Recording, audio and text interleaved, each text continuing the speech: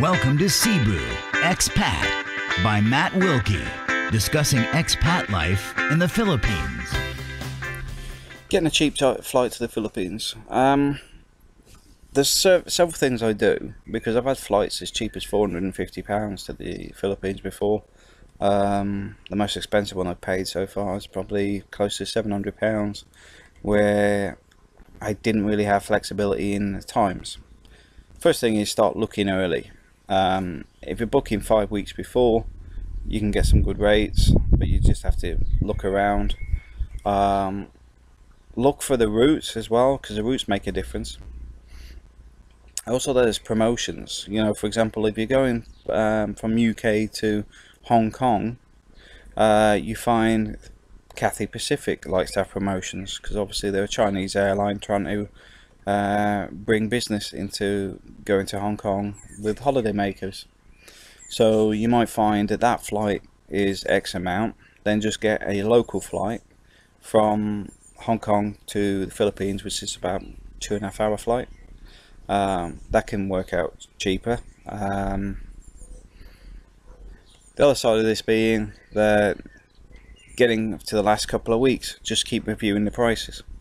Um, I think you need a 12 hour window now uh, because of security. So you've got to have a minimum of 12 hours before you book a flight. I'm not sure if that's the same on international. I know it's within Europe it is. Um, but with that, I normally look for the last two weeks, watch the prices going up and down, up and down, and then just grab it um, when a flight comes in at about 550. Because otherwise, you find the flights go, oh, it's a thousand pounds, and it's like, no, it's not. If you do these bits where you look early, look late, like you know, get the the last minutes, get the bookings months in advance, you'll find you get a better deal.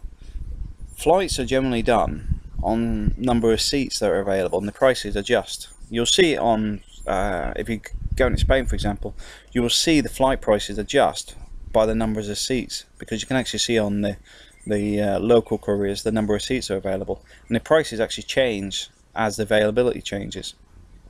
Um, so this is why, depending on when you're flying, you could find that the flight price could go up or down. Um, also, the time of year when you go, you find the Philippines can be quite difficult to get to at the end of the year because everyone goes home for Christmas.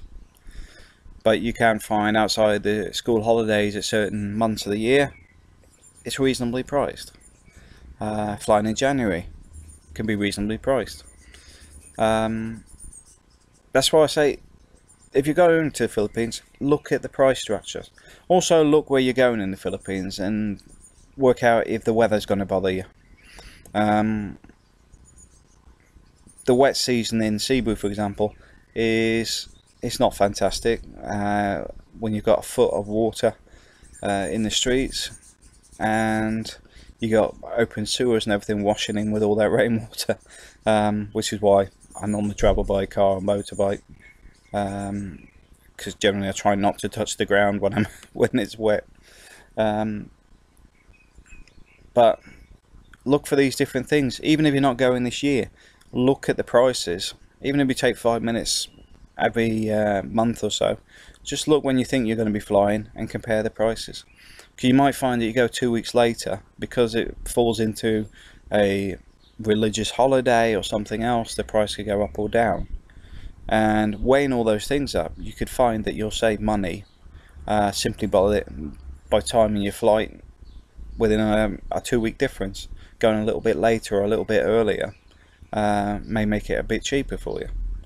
Um, I know with even going to Spain, uh, the prices vary from £60 one way to 300 depending when I fly.